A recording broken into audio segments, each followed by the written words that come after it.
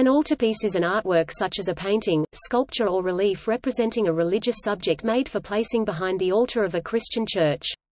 Though most commonly used for a single work of art such as a painting or sculpture, or a set of them, the word can also be used of the whole ensemble behind an altar, otherwise known as a reredos, including what is often an elaborate frame for the central image or images. Altarpieces were one of the most important products of Christian art especially from the late Middle Ages to the era of the Counter-Reformation. Large number of altarpieces are now removed from their church settings, and often their elaborate sculpted frameworks, and displayed as more simply framed paintings in museums and other places.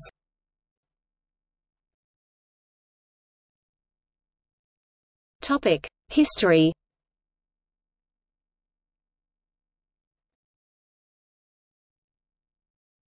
Topic: Origins and early development. Altarpieces seem to have begun to be used during the 11th century, with the possible exception of a few earlier examples. The reasons and forces that led to the development of altarpieces are not generally agreed upon. The habit of placing decorated reliquaries of saints on or behind the altar, as well as the tradition of decorating the front of the altar with sculptures or textiles, preceded the first altarpieces. Many early altarpieces were relatively simple compositions in the form of a rectangular panel decorated with series of saints in rows, with a central more pronounced figure such as a depiction of Mary or Christ. An elaborate example of such an early altarpiece is the Pala d'Oro in Venice. The appearance and development of these first altarpieces marked an important turning point both in the history of Christian art and Christian religious practice. As pointed out in the Grove Encyclopedia of Medieval Art and Architecture, the advent of the altarpiece marks a significant development not only in the history of the altar, but also in the nature and function of the Christian image. The autonomous image now assumed a legitimate position at the center of Christian worship.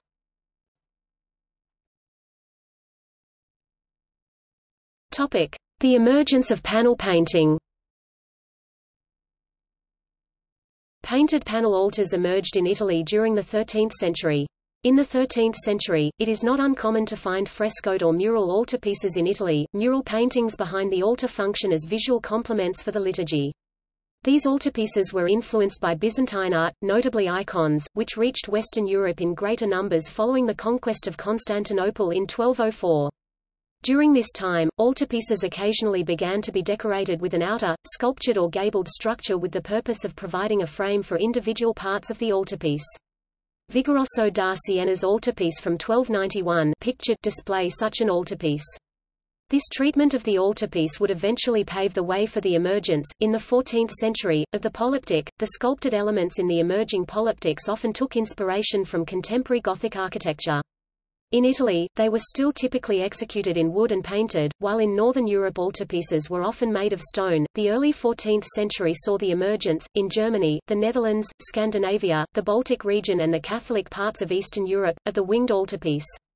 By hinging the outer panels to the central panel and painting them on both sides, the motif could be regulated by opening or closing the wings. The pictures could thus be changed depending on liturgical demands. The earliest often displayed sculptures on the inner panels, i.e. displayed when open, and paintings on the back of the wings, displayed when closed.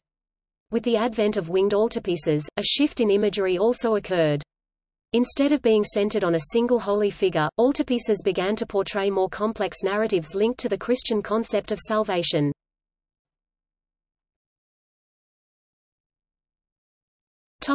Late Middle Ages and Renaissance. As the Middle Ages progressed, altarpieces began to be commissioned more frequently. In Northern Europe, initially Lübeck and later Antwerp would develop into veritable export centers for the production of altarpieces, exporting to Scandinavia, Spain and northern France. By the 15th century, altarpieces were often commissioned not only by churches but also by individuals, families, guilds and confraternities. The 15th century saw the birth of early Netherlandish painting in the Low Countries, henceforth panel painting would dominate altarpiece production in the area.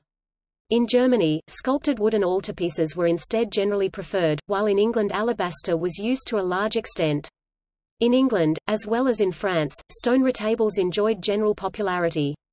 In Italy both stone retables and wooden polyptychs were common, with individual painted panels and often notably in Venice and Bologna with complex framing in the form of architectural compositions. The 15th century also saw a development of the composition of Italian altarpieces where the polyptych was gradually abandoned in favor of single-panel, painted altarpieces. In Italy, during the Renaissance, freestanding groups of sculpture also began to feature as altarpieces. In Spain, altarpieces developed in a highly original fashion into often very large, architecturally influenced reredos, sometimes as tall as the church in which it was housed. In the north of Europe, the Protestant Reformation from the early 16th century onwards led to a swift decline in the number of altarpieces produced. Outbursts of iconoclasm locally led to the destruction of many altarpieces. As an example, during the burning of the Antwerp Cathedral in the course of the Reformation in 1533, more than 50 altarpieces were destroyed. The Reformation in itself also promoted a new way of viewing religious art. Certain motifs, such as the Last Supper, were preferred before others. The Reformation regarded the Word of God, that is, the Gospel, as central to Christendom, and Protestant altarpieces often displayed the actual words from the Bible, sometimes at the expense of pictures. With time, Protestant though gave birth to the so-called pulpit altar, or Kanzel altar in German, in which the altarpiece and the pulpit are combined, thus making the altarpiece quite literally the abode of the Word of God.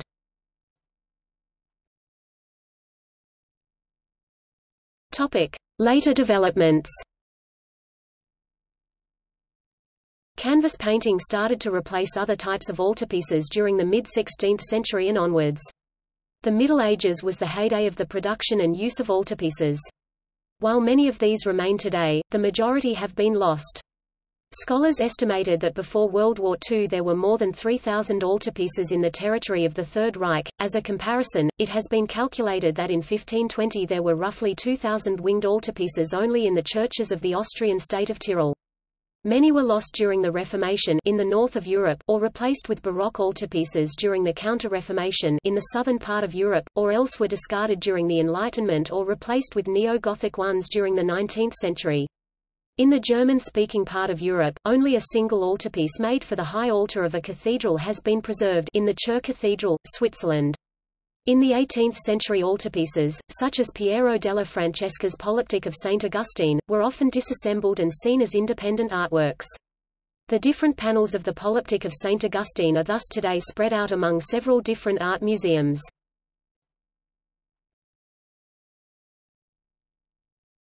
Topic. Types of altarpieces The usage and treatment of altarpieces were never formalized by the Catholic Church, and therefore their appearance can vary significantly. Occasionally, the demarcation between what constitutes the altarpiece and what constitutes other forms of decoration can be unclear. Altarpieces can still broadly be divided into two types, the reredos, which signifies a large and often complex wooden or stone altarpiece, and the retable, an altarpiece with panels either painted or with reliefs. Retables are placed directly on the altar or on a surface behind it. A reredos typically rises from the floor. Retable-type altarpieces are often made up of two or more separate panels created using a technique known as panel painting. The panels can also display reliefs or sculpture in the round, either polychrome or UN painted. It is then called a diptych, triptych or polyptych for two, three, and multiple panels respectively. In the 13th century each panel was usually surmounted with a pinnacle, but during the Renaissance, single panel, or pala, altarpieces became the norm. In both cases the supporting plinth, or predella often featured supplementary and related paintings. If the altar stands free in the choir, both sides of the altarpiece can be covered with painting. The screen, retable or reredos are commonly decorated.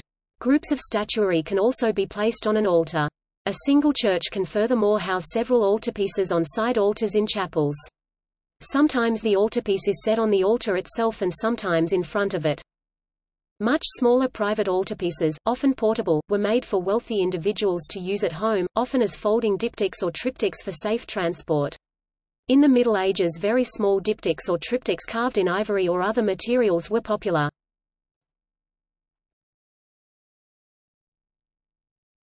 Topic. Notable examples The Pala d'Oro, in Byzantine style St. Mark's Basilica, Venice The Maestà altarpiece 1308 by Duccio Siena Cathedral, Siena The Merode altarpiece 1425 by Robert Campin Metropolitan Museum of Art, New York City the Ghent Altarpiece 1432 by Hubert and Jan van Eyck St. Bavo's Cathedral, Ghent The St. Wolfgang Altarpiece 1481 by Michael Pacher Church of St. Wolfgang, St. Wolfgang im Salzkammergut The Altarpiece of Veit Stoss 1489 by Veit Stoss Street.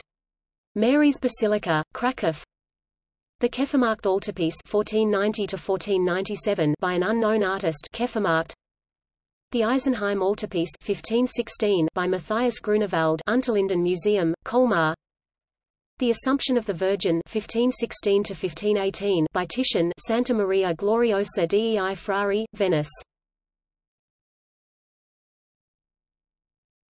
Topic. See also